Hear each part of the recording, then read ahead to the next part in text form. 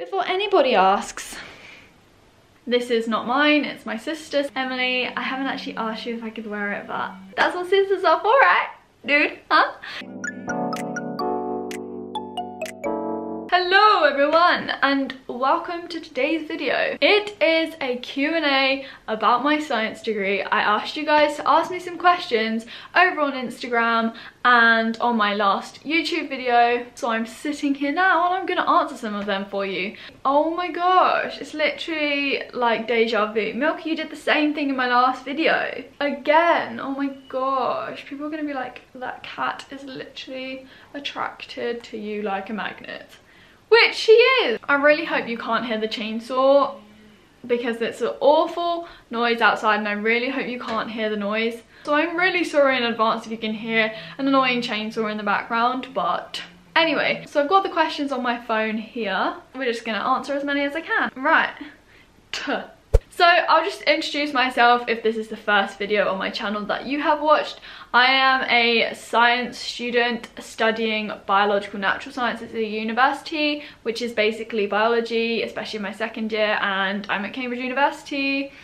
I think that's basically all I need to brief about myself. And I'm Holly, hi. Hi, Gabrielle. Okay, so question number one. Which modules did I study last year and which ones do I study now? So yes, I'm in my first year, no. So I'm in my second year of university. In my first year, I did biology of cells, evolution and behaviour, earth sciences, which was geology, and I thought I'd be a bit different, you know. And I also did maths for biologists, which is basically maths with like a load of twists and it's the hardest maths I've ever done in my life. But anyway, it was the maths option that the biology students do. Yay! It was great. Hmm about that. Anyway, you can look on the website if you are interested in the course, but then as I'm in my second year, I now only do three modules. Woo, whoopie do, only three modules now. Supposedly less work. Hmm, no. There's a lot of options to choose from in second year. I was overwhelmed by the choice and it really was a hard decision for me. I, I spent so long making decisions. I'm the worst person with making decisions. But anyway, we finally got there and I'm currently doing biology of disease or pathology, where you basically study about disease and stuff great explanation, Holly. Um, I do cell and developmental biology and then I also do neurobiology. So that's about the brain and the nervous system. They're more specialised than my first year and obviously I'm, I am finding them very interesting. Fun story though, it didn't go as smoothly in my first week of first term. Sorry the lighting's changing by the way. So, so I went into second year with my modules that I'd chosen and I went into my DOS meeting and originally at that point I thought I was going to do biology of disease. That was a definite. I really wanted to do that one. I really wanted to do CDB so they have little shortened names. One is path that's pathology or BOD biology of disease either or. CDB is cell and developmental biology and neuro is neurobiology. But I thought that I was going to do BMB and that is biochemistry and molecular biology. So that was my third option instead of neuro. At this point i went into second year like okay so i'm gonna do cdb bmb and path. Then we had like the kind of induction thing where we went and collected some course information some course handbooks. And i also collected like the bmb the biochem practical booklet which was literally as fat as a doorstep I still have it. And I remember looking at it when I got a bit of time and I was literally, I almost had a heart attack. I was like, oh my gosh. I looked at a, few of the pages and I was literally like, no, I really can't do that. Just no. Oh. In the practicals, it had everything that I really didn't enjoy in first year.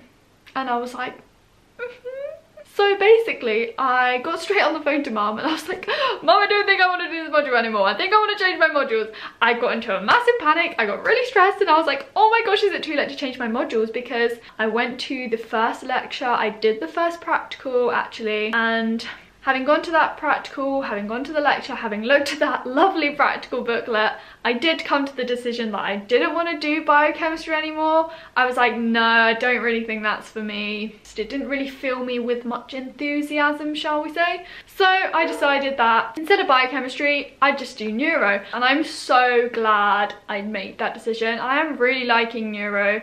It wasn't too late and I'm so happy with the modules I'm doing now. It's all fine. Capiche? Capuche. Next question related, do I have any particular favourites? Are any more difficult than others? So I think whatever module you choose to do, there are going to be certain topics that you don't enjoy and certain topics that you do enjoy. And obviously things are going to be a bit more difficult sometimes. I'm, I don't think any module is easier than others. I don't think you can pick one as like an easy way out or as like a, a DOS sort of one. But um, in terms of favourite, I don't really think I do have a favourite. Well, actually, I think the one that is most interesting for me personally is biology of disease and pathology. I literally love what we're learning about. It's so detailed. There is so much to know. The multiple choice questions will be the death of me, but I think it's so interesting learning about how like disease manifests itself in our bodies. Say for example, I suffer from hay fever and being able to know what happens inside my body, my body when I get like itchy eyes and I get a runny nose, it's really cool. I love it. So I think pathology of disease probably might be my top, but I do like them all. I should also say that some of our second year modules for natural sciences overlap with those that the medic students and the vets do. This lecture theatre is huge and there are so many people that do that module because it's studied by medics and vets. The same with like pharmacology, which I don't do, is studied obviously by medics and vets I think as well. This is the one that kept coming up. I'm losing my voice. What do I plan on doing after my degree? PhD, master's, job, take a break? What am I gonna do? Literally, this was probably the most frequently asked question. To be quite frank, right now, I don't really know. I had my DOS meeting at the end of last term and I sat down with my DOS and she was like, so Holly, um, you know, like third year, fourth year, what do you want to do sort of thing? And I was like, um, I don't really know. I might dance, you know? Work my butt off here and then just dance, you know?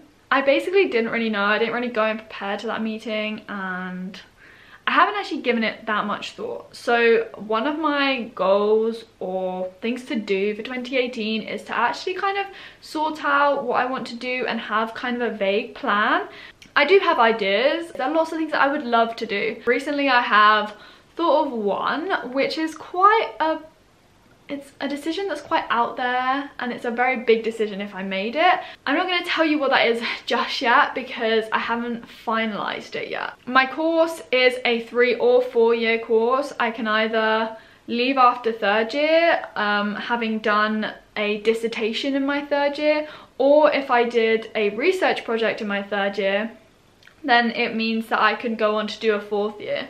And I think that's a master's. Somebody asked me if why is natural sciences a BA degree, even though it's more scientific. And I don't actually know. Like, Holly has no answer for that. Maybe we should ask Google that question. It's not actually telling me why. So I don't really know the answer to that question. And I'm not gonna try hard and make up an answer because I don't know why. But in terms of career opportunities and things that you can do following a science degree, there's a whole range of options. I mean, it's not a degree, say for example, like law that leads straight onto a career like you become a lawyer or you become a barrister or something. A science degree is much more flexible I suppose. So you can, yes you can go into research, you can go into like banking or the city, you can become a teacher, you can go into conservation, you can maybe get into politics and working with the environment side of that. There are so many career opportunities, it just really depends on what you want to do. Okay, next question is kind of related to research and a lot of people ask me this as well. How do I feel about having to work with animals in the lab classes as I am vegan myself? Um, has it made a career in research impossible? So, hmm. In doing a science degree, it's very practical as a subject. You do have labs and practicals every week, all the time. Animals are used in labs at the end of the day. My university does test on animals, I know that. in my first year I didn't do physiology of organisms and in that module they did do dissections so I didn't have to do any dissections in my first year at all. Even uh, it's a, this is such a hard one because it's like without the research that has been done on animals we wouldn't have the knowledge that we have. But then it's like I don't really agree with say in psychology putting all these weird headsets and like stimulating neurons in like cats brains or monkeys brains and probing things in their eyes or even using flies and just dumping them in morgue to kill them after you've bred so many stocks. I'm not saying there's a right answer for this and a wrong answer for this and I'm not saying that what I think is right and a lot of people might disagree with what I say so that's why I was like oh I don't know what to say for this question I don't really have a that great an explanation but I mean I don't think I want to go into research. That is something I can say quite definitely. I really don't think I want to do that. So I would not therefore have to work with animals and it wouldn't therefore conflict with me being vegan. But in the meantime, um, when I'm studying, I just observe when animals are used. If I had ever had to do a dissection, I probably wouldn't. In some of the labs, they use dummy organisms that you can work on, so I would do that and I mean working with flies um, and doing the genetic crosses and things personally I didn't really see the benefit of me using a paintbrush to move and transfer flies into different tubes and vessels to then breed them and then see the results the next week. I know some people are going to think, well, that's stupid, Holly, why are you doing a science degree? And you're not going to agree with me, but I didn't really feel that I was going to benefit or learn anything from doing that so I just thought I would observe. And even though the demonstrators in the lab were like are you scared of flies? Do you have a phobia? And I was like no like I just I just don't want to work with them. I don't want to have to kill the flies at the end having done all these experiments. So I'm sorry, but that is what I wanted to do and or what I didn't want to do. So it's a it's a very hard one though. It's it's really conflicting because a lot of research is carried out on animals. Bottom line, I definitely don't agree with testing on animals for in terms of beauty products because beauty products are not necessary. Drugs, on the other hand, are they necessary? In some cases, yes, they definitely are. In others, I, I, I, don't know, it gets so hard. Please comment down below what you think about this and share your ideas if you're vegan as well.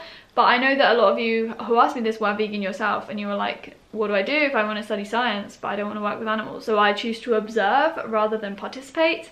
And at the moment, I don't really think I want to go into research. So we've done a lot of in-depth questions. We need a little breather and I found this one and I was like, I want to answer it. Random question for you all. How tall am I? I'm five foot four and a half not to do with my science degree nothing related at all um okay another quick question how many exams do i have um at the end of this year so Oh, I haven't actually counted them yet. So this is a good time to do it, I suppose. So I do three modules, three. Um, for neurobiology, I think I have two exams. I mean, I might have even got this wrong. I think I have for CDB, I definitely have three. And then for pathology, I think I have three. And they're long exams, they're like three hours most of them anyway. Am I happy with the degree I chose or do I wish I have chosen something else? How do I know it's the right course for me? Did I consider veterinary before? I kind of threw some questions together. So I did actually consider veterinary um, before I considered doing NatSci. Uh, yeah, so in year 10 I thought I was gonna come becoming a vet because I did work experience in a vet. I mean, it was fun, but I saw a bulldog come in who had swallowed a ping pong ball. So they had to open up the dog's stomach and remove the ping pong ball. And I was just a bit like, stunned and I was kind of like, I don't think this is the right job for me. So um, I kind of turned away from vet med, but I did consider it. I am definitely happy with the degree I've chosen. Um, I do love science. I think it's um, a really great subject. Uh, the field is like so dynamic. It's really there's so much progress being made there's so much new stuff to learn and take in for anyone whether you're an old scientist or like a young one like me so so i don't regret choosing NatSci um how did i know that i wanted to do NatSci well i basically enjoyed biology at a level um i think it was my probably my favorite a level um And so I was like, hey, uh, I might do biology at university. So if you do enjoy science, then you probably are going to enjoy natural sciences because it's diverse, it's very flexible, you can specialise in what you want to, and it's very rewarding. So yeah. How many contact hours do I have? Does it change? Um, I haven't actually counted how many hours I have of contact time per week. It does change like from year to year. So I've had, I had more contact hours in my first year. Um, this year I have, say on an average day, let me get my diary. I have a day in my life video which might be quite useful. I'll put it like link above. So the most I could probably have on one day is like think maybe six hours of contact time. Um, but obviously that's the most and I don't have that consistently every day. So it does depend each day. It depends on my timetable. It depends when I put my supervisions because they're more flexible than lectures which are just like set for everyone. But yeah, it's the practicals that take up most time. They're normally like this year, I think my longest is like five hours, four five hours. Um, last year I always had like five hour labs on a Monday and it was like um, would I rather have fewer or more contact hours? I think I'm content with the amount number of contact hours I have. Um, if I had to say more or less, I would probably say less because sometimes my day is crammed with so many things I have to do. I'm here, there and everywhere when in reality I'd much rather just be in my room at my desk. I do find that, yes, lectures are useful. You sit and watch somebody talk to you for an hour sounds really daunting, but that's what you do. Um, supervision sometimes can be really useful because if you don't understand something, it's nice to just be able to ask them questions and for them to give you more information. It's, it's quite cool because they know a lot of stuff and they're really clever and you're like, wow.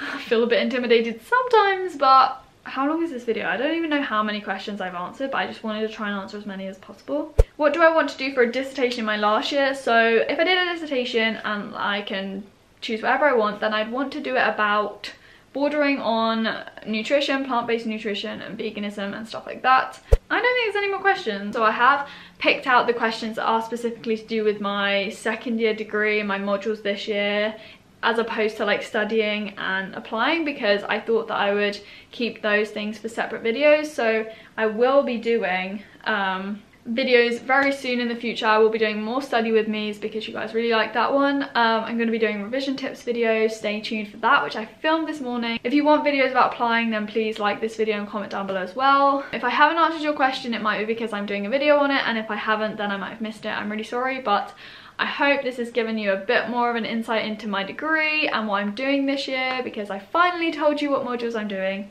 Um, also, I should say actually, when I do have a bit more of a think about what I want to do in the future in terms of jobs and careers and stuff, I probably will tell you guys and I will make a whole video on it because I am going to do a lot of thinking. I am going to try and sort out what I want to do. I know I haven't answered that question very well in this video but hopefully I might be able to do it soon in another video about choosing career paths and what I want to do. Please like it as I said, comment down below if you have any more questions, video ideas. Yes, if you're new as well, please hit that subscribe button. And if you haven't already, the little bell apparently tells you, apparently tells you when I upload, so you can click that as well. I hope you enjoyed this video and yeah, I will speak to you in my next one. Goodbye! You want to say bye? Say bye, huh? Say bye. Say bye to everybody. They like seeing your face. Bye.